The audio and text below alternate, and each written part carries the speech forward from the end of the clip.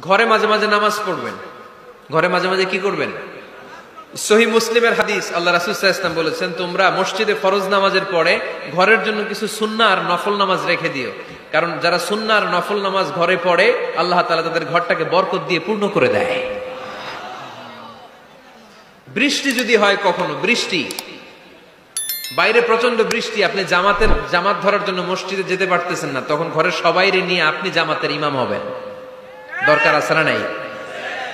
আপনি ইমাম, আপনার ছেলেরা পেছনে, মেয়েরা পেছনে, নারী পুরুষ একই কাতারে দাঁড়াতে পারে না। তো আপনি ইমাম, পেছনে আপনার ছেলেরা, এর পরের কাতারে আপনার মেয়েরা আর আপনার স্ত্রীরা। পারা যাবে না?